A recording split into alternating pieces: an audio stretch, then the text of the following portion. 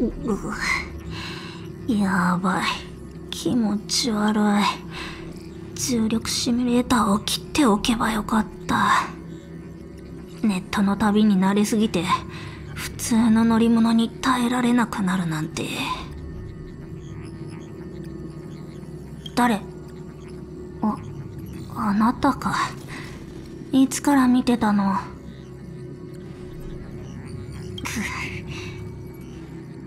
暇だったからちょっとあなたをからかっただけ。乗り物酔い？私が？そんなわけない。忘れないで。ここに立っているのはただのホログラム。本当の私は心地いいアイスバスに使っていて請求列車には乗ってない。